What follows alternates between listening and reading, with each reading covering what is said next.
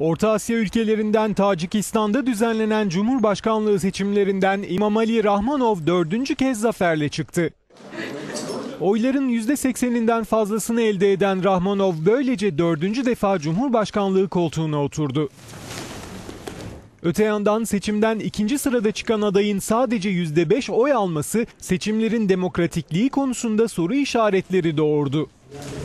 Orta Asya'nın 7 milyon nüfuslu bu ülkesinde seçimlerde gözlemci olarak görev alan Avrupa Güvenlik ve İşbirliği Teşkilatı adaylık şartlarının çoğulcu bir ortamın oluşmasını engellediğinin altını çizdi.